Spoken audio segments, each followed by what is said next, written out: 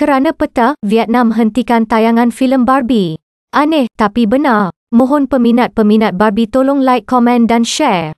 Sebuah filem komedi fantasi terbaru bertajuk Barbie yang dibintangi Margot Robbie dan Ryan Gosling yang dijadual untuk ditayangkan pada 21 Julai telah disekat oleh Vietnam.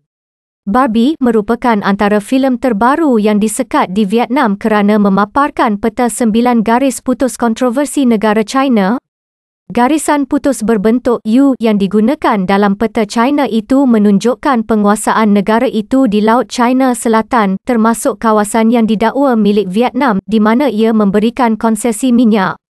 V. Kian Then, Ketua Jabatan Pawagam, berkata kami tidak memberi lesen untuk filem Amerika Syarikat, Barbie, ditayangkan di Vietnam kerana ia mengandungi imej yang boleh menyinggung sebilangan pihak berhubung zon berkenaan.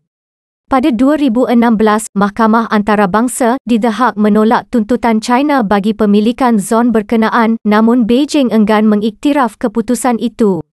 Antara tayangan filem yang turut disekat oleh Vietnam termasuk filem animasi Abominable pada tahun 2019 dan filem aksi Uncharted tahun lalu atas sebab yang sama. Syarikat Netflix juga membatalkan tayangan drama Australia Pine Gate pada 2021.